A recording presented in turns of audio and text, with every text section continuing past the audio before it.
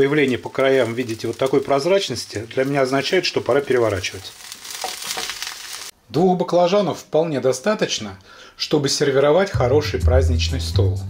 Приветствую вас, уважаемые друзья! С вами канал с Дедом за обедом и я Александр. Готовите баклажановые рулеты и не знаете, как удивить гостей? Замените обычный сыр на творожный сыр. Творожная нотка придаст новому блюду пикантности и более нежный вкус. Такими рулетами украсить праздничный или новогодний стол будет очень-очень даже кстати. Давайте готовить!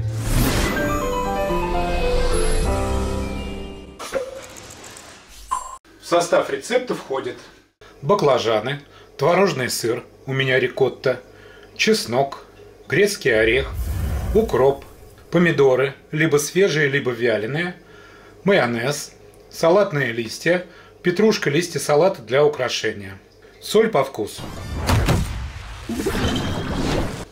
Первое, что я сделаю, порежу баклажаны на языки толщиной 5-7 миллиметров, не толще. Так баклажаны лучше прожарятся на гриле. Почему я их режу тонко?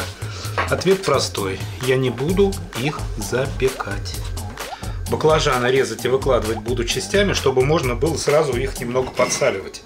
Баклажаны порезаны и подсолены, убираю их пока в сторону. Теперь самое главное – подготовить правильную начинку. Рикотта подсаливаю и немного перемешиваю. Через пресс выдавливаю чеснок. И заметьте, чеснок я не режу ножом, а именно пропускаю через пресс.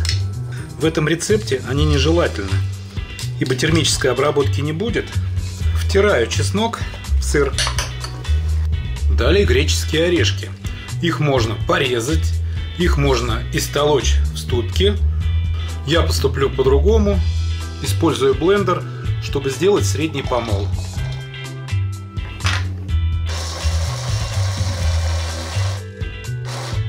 Грецкие орехи тоже готовы. Отправляю их к сыру. И хорошо перемешиваю. Далее очень мелко крошу ножом укроп.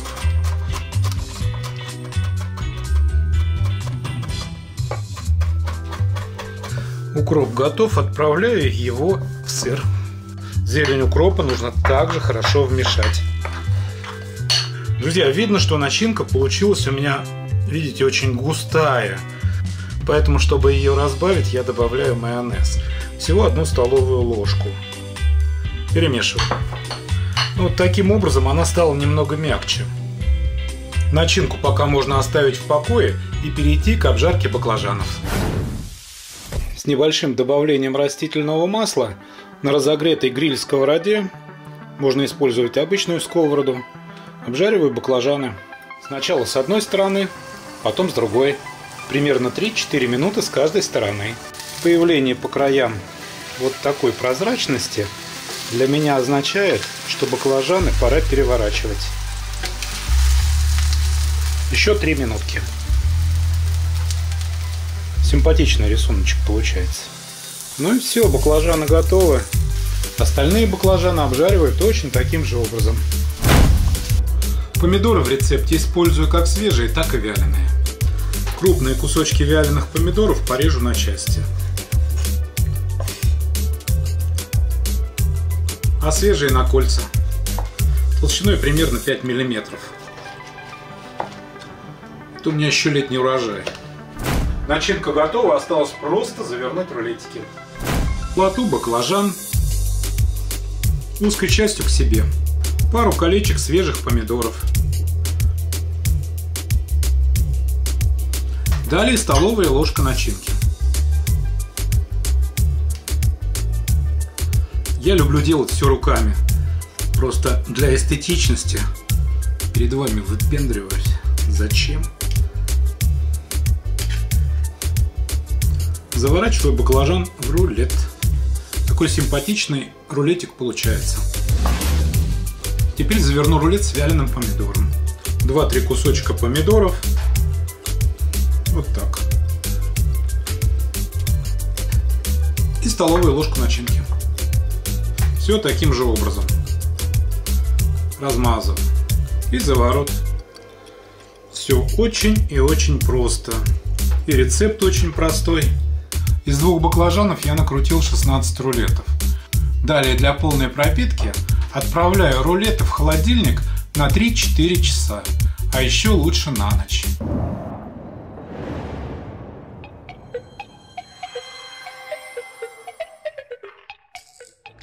Двух баклажанов вполне достаточно, чтобы сервировать хороший праздничный стол. Благодаря творожному сыру или рикотте рецепт получается очень сытный. Уверен, что вы нисколько не пожалеете, если такая закуска появится на вашем новогоднем столе. Приятного аппетита! Спасибо, что были со мной. Если рецепт вам понравился, ставьте лайки, подписывайтесь на канал и не забывайте включать колокольчик, чтобы не пропустить новые интересные видео. Желаю вам прекрасного настроения, крепкого здоровья. До скорых встреч!